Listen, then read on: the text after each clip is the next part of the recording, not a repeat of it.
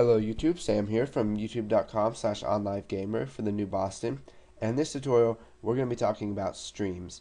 Now, basically what a stream is, is it's the what you use to exchange data between uh, files, memory, or maybe a network. So you can send bytes of data uh, back and forth. So what we're going to do in this tutorial is write some text to a text file. So we'll go ahead and click New Project.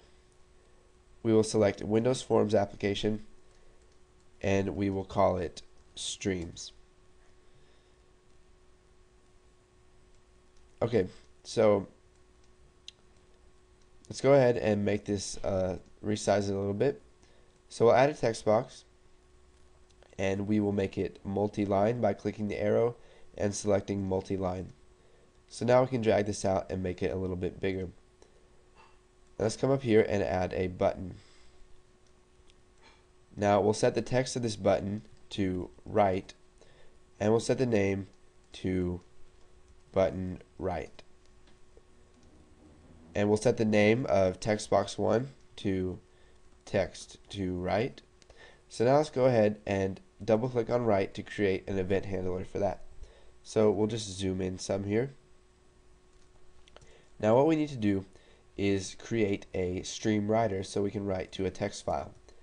So we'll come up here and to be able to do that we need to type in import system.io and IO stands for um, input output. So we'll create a new stream writer now. So we'll type private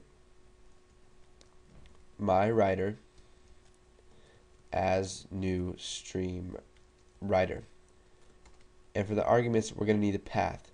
So I'll just do it in my G drive and I'll call the, the file myfile.txt so it's going to look for this file and if it doesn't find it then it's just going to create it for you.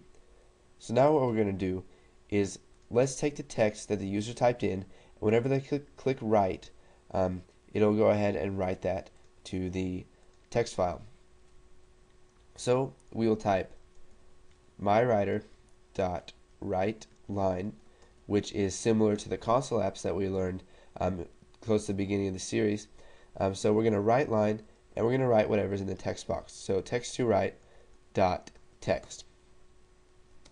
So it's going to write that to uh, the text file. Now there's one problem with this.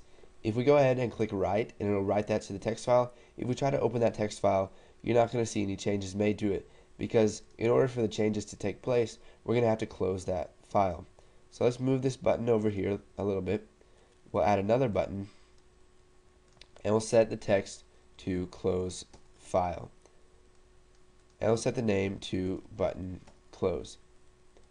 So whenever they click close file and they're finished writing, um, we'll just go ahead and type my writer dot close. So this will close the file and all of our changes will take effect. Now we'll go ahead and open up my G drive um, and you can see that there's no text file in here right now. We'll go ahead and minimize that. Now if we run this, it creates that text file. So you can see that it created my file right here and currently it doesn't have anything in it. You can see that right there. So we'll close out of that. We'll minimize this. So let's just write hello world. We can write that to it. And we could also have it clear this text box every time we click write just to make it a little bit more user friendly.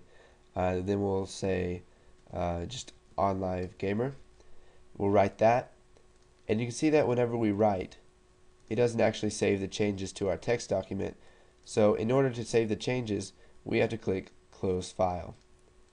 Now if we come over here and open up my file, we get, looks like, we get Hello World and On Live Gamer. So we could change this to save file. That would look a little, a little bit better, but uh, that's just something you can do. So basically, we just made a stream writer and it accessed this file right here, and since it wasn't there, it created it, and then we wrote whatever was in the text box to it, and then when they're done working with it, we click close. So that it will save the changes to that file. So go ahead, practice with some stream writers, uh, and then once you've done that, go ahead and move on to the next tutorial.